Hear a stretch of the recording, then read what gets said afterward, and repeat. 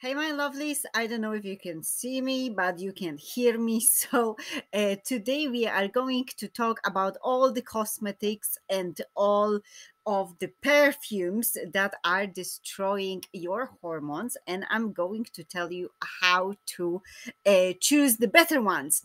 It's very important because the research proves that even low level exposure to chemicals in cosmetics affects reproductive levels and fertility.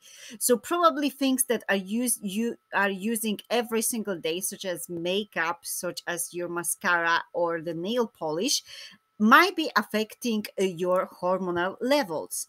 So, what is important to see and what is important to check as the ingredients, the parabens, they might increase estrogen level. There's actually re- one research that proves it. And why it's so important? Because endometriosis is the hormonal illness. Every single endo girl have too high estrogen. So, uh, your job if you want to be endo free, you have to lower the estrogen. So you have to choose all the cosmetics that are SLS and parabens free. Did you know that synthetic chemicals in fragrance can mimic hormones? So you have to be very careful and choose um, clean beauty ideally.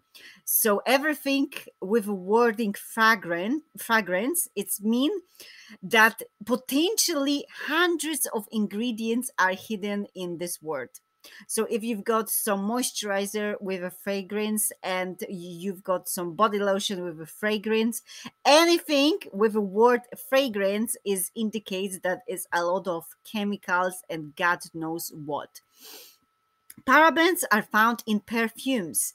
They are synthetic preservatives, so they are preserving uh, all the ingredients. That's why uh, the beauty industry is using the parabens.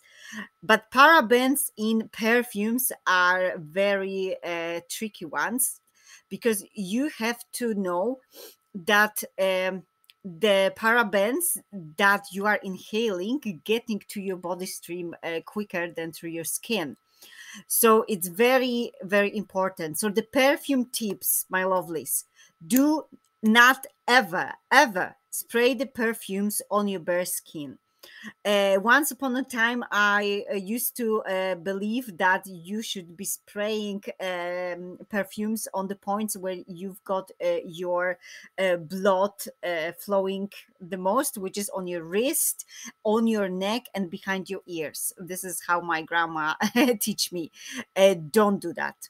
Don't put any perfumes on your skin. Don't put any perfumes on your hair as well, because your hair can absorb it. If you have to spray it, spray it on your clothes only. This is what I'm doing. I'm still using perfumes, but I'm very mindful, you know, how I'm using it. And I'm uh, not uh, spraying it all over myself. And like, you know, I'm not creating the mist all over myself. Uh, I'm just protecting my airways. This is what comes first. Okay, so that's the uh, perfume tips. The cosmetics choose the clean beauty. I know the clean beauty is more expensive now than the normal standard cosmetics, but you can still choose the good cosmetics on the budget. And how you going to do that? I'm going to link the video where I talk in depth uh, about the cosmetics. You're going to see uh, which app uh, I'm using, and you're going to see even uh, how I'm bidding the uh, cosmetics because it's so many of them. Like for example i have to bin uh, my uh, rimmel foundation. I have to bin charlotte tilbury lipstick so all these famous brands uh, that are not really good for you. So how do you do it? How you check if the cosmetics are actually or the perfumes are good for you or don't uh, contain the endocrine disturbance uh, ingredients which are disturbing your uh, endocrine system which means your hormonal system. Very simple screenshot this one or write it down. Research product of on e WG Skin Deep. This is the website that got very big database. Or try the apps. They are the apps that are free to download is EWG Healthy Living or Dirty Dozen or Think Dirty or Detox Me. Basically what you're doing you're literally scanning the barcode of the product um, any product and it comes up uh, usually it's a, co- a color coded which means the green one is the um, uh, safe and the more uh, towards the um, red ones this is the thing uh, that indicates that you have to uh, avoid it altogether okay very, very simple. So let's wrap it up and let's recap.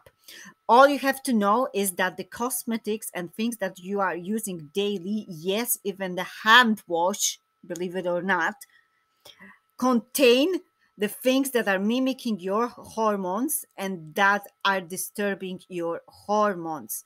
And we don't want that. Anything with a fragrance have to go. If you want to use the perfumes please be mindful and don't spray it around your uh, you know your skin. Just put it only on your clothes. And just make sure that you uh, exit the room the minute you spray it. You don't want to be there and inhaling all this okay so this is uh, another day i'm gonna see you tomorrow hopefully my camera is gonna work better than today. But I'm to see you tomorrow. Let me know what you think and see you very shortly. I love you so much. Bye.